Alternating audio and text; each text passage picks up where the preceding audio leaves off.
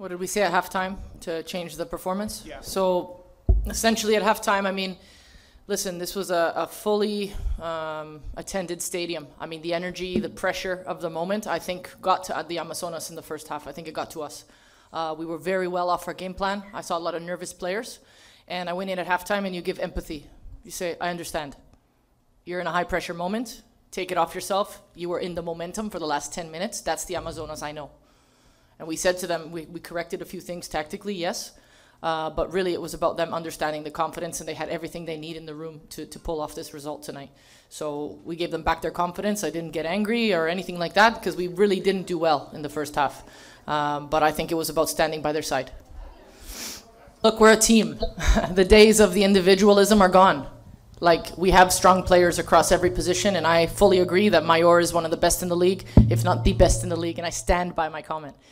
Um, but we have prepared a full team for for this uh, tournament. We have prepared everybody with multiple minutes across many games. We've used almost our entire bench all season. This isn't new. So yes, having Mayor back is an absolute bonus for the squad. She's going to definitely boost our confidence and our play. Uh, but we had always had everything we needed to get the result tonight. Always. That, that, that was always the case. So I'm very proud of who stepped up. You know, Belen got to start in that position. She did fantastic for us.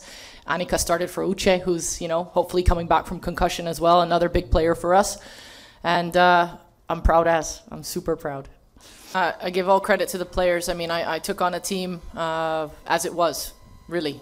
Uh, and I think it was really about getting this group a little bit more tight knit. They always had the talent. I mean, I knew coming in the story for you know four championships out of nine tournaments and all the rest of it, but they had they had lost their way a little bit. So this group always had and has what it takes to win. Um, I think now what I feel is pride that they're connecting. I feel pride that the culture is getting better. I feel pride that they've taken on a new style of, of play and they've been brave enough to try and to, to trust uh, a new leader.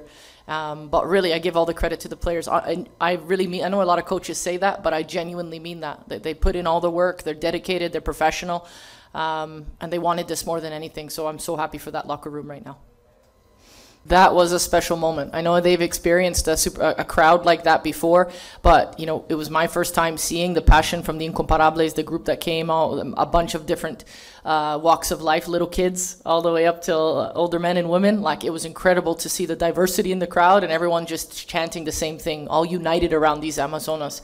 The impact they have on this community is insane. Um, I think it's so special, and I think this is a tribute to what women's football can do in a community. Um, it united us. We actually have a funny story. I'll just spend 20 seconds on the story. We were making sure we kept it very light physically yesterday, and some of them had their highest load jumping with the crowd. They were like working out basically, so it was basically counterproductive. But for me, I was a little worried that they were working out and, and jumping and you know bouncing around. But I think the the moral boost, the the, the confidence boost, the connection to the fans uh, gives them purpose. And um, you saw that tonight. I mean, they were really connected with the crowd. You saw Ovalle pu pulling them up in the last, you know, two minutes. Really, like they feel they feel that energy, and it's our it's our extra superpower.